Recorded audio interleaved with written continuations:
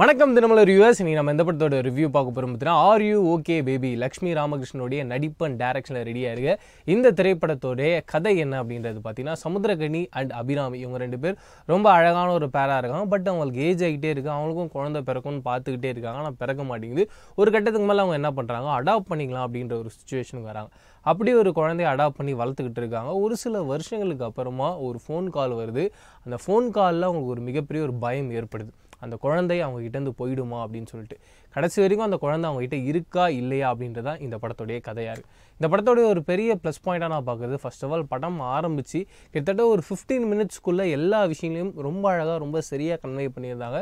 அதுக்கு லக்ஷ்மி ராமகிருஷ்ணனுக்கு ஒரு பெரிய ஹேட்ஸ் ஆஃப் அதே மாதிரி படத்துடைய செகண்ட் ஹாஃபில் ஒரு கோர்ட் ரூம் ட்ராமா வரும். அந்த கோர்ட் ரூம் ட்ராமாவில் என்னென்ன மாதிரியான விஷயங்கள்லாம் வச்சு ப்ளே பண்ண முடியும்? மிக முக்கியமாக அந்த எமோஷன் ஒன்று இருக்குல்ல ஆடியன்ஸ் ஒன்று திங்க் பண்ணுவாங்க.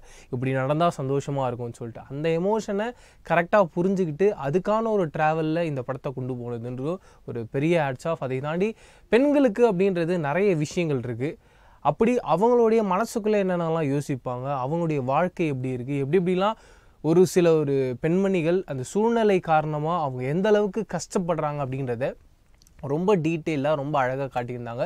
அது மட்டும் இல்லாமல் இந்த படத்தோட இன்னொரு ப்ளஸ் பாயிண்ட் என்னன்றது பார்த்தீங்கன்னா நிறைய விஷயங்கள் இன்ஃபர்மேஷனாக இருந்து ஃபார் எக்ஸாம்பிள் குழந்தை பிறந்தாதான் அந்த பிரெஸ்ட் ஃபீட் பண்ண முடியும் அப்படின்றது தான் நமக்கு தெரியும். பட் இப்போ சயின்ஸ் அட்வான்ஸாக போயிடுச்சு. குழந்தை பிறக்கலனா கூட ஒரு சில மெடிசன்ஸ்லாம் யூஸ் பண்ணதுக்கப்புறமா அவங்களுக்கு வந்து பால் சுரக்க ஆரம்பிச்சிடும் அப்படின்னு சொல்லிட்டு நிறைய விஷயங்களை ரொம்ப டீட்டெயிலாக ரொம்ப அழகாக சொல்லியிருந்தாங்க. அதுக்கு ஒரு பெரிய ஹேட்ஸ் ஆஃப் சொல்லி பட் இந்த படத்தோடைய மைனஸ் பாயிண்ட் என்ன அப்படின்னு பார்த்தீங்கன்னா படம் ஆரம்பித்து ஒரு ஃபிஃப்டீன் டுவெண்ட்டி மினிட்ஸ்க்கு அப்புறமா இந்த கதையில் வந்து லக்ஷ்மி ராமகிருஷ்ணன் அவர்களே ரியல் லைஃப்லேயே வந்து சொல்வதெல்லாம் உண்மை அப்படின்ற ஒரு ஷோ இருக்குது அதை பேஸ் பண்ணி தான் இந்த ஒரு படத்தையே பண்ணியிருக்காங்க. அந்த ஷோவை பேஸ் பண்ணி நிறைய விஷயங்களை ஒரு ட்ரீட்மெண்ட்டாக கொண்டு வராங்க. அந்த எல்லா ட்ரீட்மெண்ட்டுமே ஒரு பரபரப்புக்குள்ளேயே உட்கார மாட்டேங்குது. இன்ஃபேக்ட் அந்த ஷோவை நீங்கள் இப்போ எப்பயாவது ஏதாவது ஒரு பழைய எபிசோட்ஸ் பார்த்தா கூட அந்த அளவுக்கு இன்ட்ரெஸ்டிங்காக கிரிப்பிங்காக இருக்கும். அந்த கிரிப்பிங்கும் இன்ட்ரெஸ்ட்னஸும் இந்த படத்தில் காட்டக்கூடிய அந்த ஒரு ஷோவில் இல்லை அப்படின்றது தான் இந்த படத்தோடைய ஒரு பெரிய மைனஸ் பாயிண்ட்டாக பார்க்குறேன். இன்னொரு விஷயம் என்னன்றதுன்னா லக்ஷ்மி ராமகிருஷ்ணனுடைய வாழ்க்கையில் ஒரு சில கசப்பான விஷயங்கள்லாம் நடந்திருக்கலாம் இதனால தான் இந்த ஷோ பண்ண முடியாமல் போச்சு.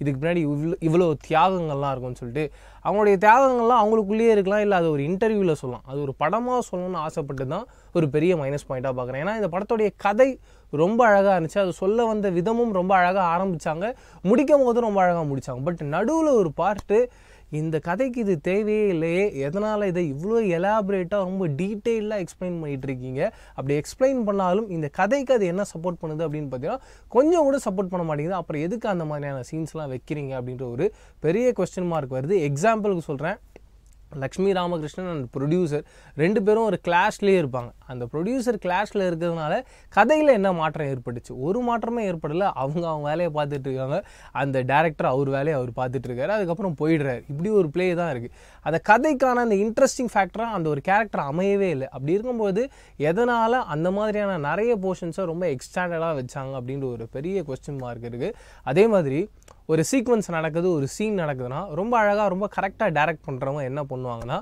இந்த கூட இருக்க பேக்ரவுண்ட் ஆர்டிஸ்ட்லாம் இருக்காங்களா ஃபார் எக்ஸாம்பிள் நான் சொல்கிறது இந்த ஜூனியர் ஆர்டிஸ்ட் மாதிரியான ஆட்கள் அவங்க கூட ஒரு சில விஷயங்களை இன்புட்டாக கொடுத்து கரெக்டாக அந்த ரியலிஸ்டிக்கான ஒரு ஃபீலை தருவாங்க. எக்ஸாம்பிள் இந்த படத்தோடைய அந்த கோர்ட்ரூம் ட்ராமா நம்மளுடைய ஆடுகளம் நிறைய தான் ஜட்ஜாக உட்காந்துருக்காரு கீழே ஒரு ரெண்டு மூணு பேர் இருப்பாங்க. அதில் ஒருத்தர் ஜட்ஜு சொல்கிறத டைப் பண்ணிகிட்டே இருப்பார்.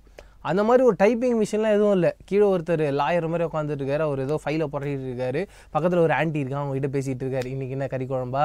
நல்லா இருந்துச்சா? அப்படின்ற மாதிரி பேசிகிட்டு இருக்காரு ஒரு கான்வர்சேஷன் அவங்க பண்ணிகிட்டு இருக்காங்க ஜாலியாக என்னப்பா நீங்கள் இதில் ஒரு சின்ன டீட்டெயில்னஸ் வேணாமா அப்போ தானே ஆடியன்ஸாக உட்காந்து பார்க்கும்போது அது உண்மையாக ஒரு நம்பர் ஒரு ஃபீலை ஆடியன்ஸுக்கு தர முடியும். அதை பெரிய அளவு நான் மிஸ் பண்ணிட்டீங்களே அப்படின்ற ஒரு பெரிய வருத்தம் இருந்தது. அதை தாண்டி படத்தில் நடிச்சிருந்த ஆர்டிஸ்ட் எல்லாருமே ரொம்ப அழகாக நடிச்சிருந்தாங்க. மிக முக்கியமாக அசோக் குமார் அவருடைய பெர்ஃபார்மன்ஸ்ன்றது எக்ஸலண்ட்டாக ப்ரில்லியண்ட்டாக இருந்தது. அதே மாதிரி இந்த படத்தில் நடிச்சிருந்த முல்லை அவங்களுடைய பெர்ஃபார்மன்ஸும் ரொம்ப அழகாக இருந்தது.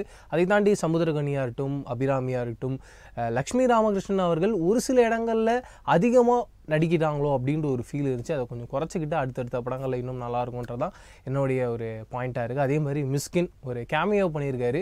எப்பயுமே ஒருத்தர் கேமியோவாக அந்த ஒரு படத்துக்குள்ளே கொண்டு வரோன்னா அந்த கேரக்டராக ரொம்ப பெருசாக இருக்கும் இல்லை அந்த கேரக்டர் மூலியமாக ஏதாவது ஒரு நல்ல விஷயங்களை ஆடியன்ஸுக்கு கன்வே பண்ணணும்னு நினச்சாதான் ஒரு மிகப்பெரிய ஒரு ஸ்டார் காஸ்ட்டை நம்ம ஒரு படத்துக்குள்ளே கொண்டு வரதுக்கு அந்த கதைக்கு சப்போர்ட் பண்ணி ஆடியன்ஸுக்கும் ரொம்ப அழகாக அந்த ஒரு போர்ஷனை ரொம்ப கரெக்டாக நம்ம எக்ஸாம்லாம் ஒரு கொஸ்டின் பேப்பரில் ஒரு கொஸ்டின் எழுதுறோன்னா ஒரு ரொம்ப முக்கியமான பாயிண்ட்டை நம்ம வந்து அண்டர்லைன் பண்ணி காட்டு வந்துடலாம். அந்த மாதிரி அண்டர்லைன் பண்ணுறதுக்காக தான் இந்த மாதிரியான கேமியோ ரோல்ஸுக்கு மற்ற ஆர்டிஸ்ட்டை நம்ம சூஸ் பண்ணுறோம் பட் இந்த படத்தில் மிஸ்கினோடைய போர்ஷன்ஸுக்கு பதிலாக வேறு யார் நடிச்சிருந்தாலும் அதே இம்பேக்ட் தான் இருந்திருக்கும். எதனால் மிஸ்கின் அப்படின்றதும் தெரியல. இந்த மாதிரியான நிறைய ப்ளஸ் அண்ட் மைனஸோடு தான் இந்த ஒரு கதை நவுந்துட்டுருக்கு பட் டுவர்ட்ஸ் த லாஸ்ட்டு நாம் எதிர்பார்த்த மாதிரியான ஒரு எண்டு வரும்போது பயங்கர சந்தோஷமாக தான் இந்த படத்துலேருந்து வெளியில் வரும் அப்படின்றத டவுட்டே இல்லை.